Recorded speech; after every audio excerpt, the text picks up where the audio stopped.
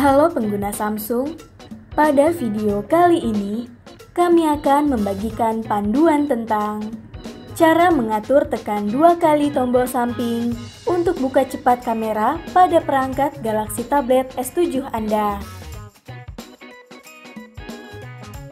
Dengan metode ini, Anda dapat membuka kamera dengan cara tekan dua kali pada tombol samping.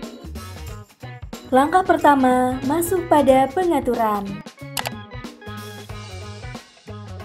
Kemudian pilih fitur lanjutan. Langkah selanjutnya pilih tombol samping.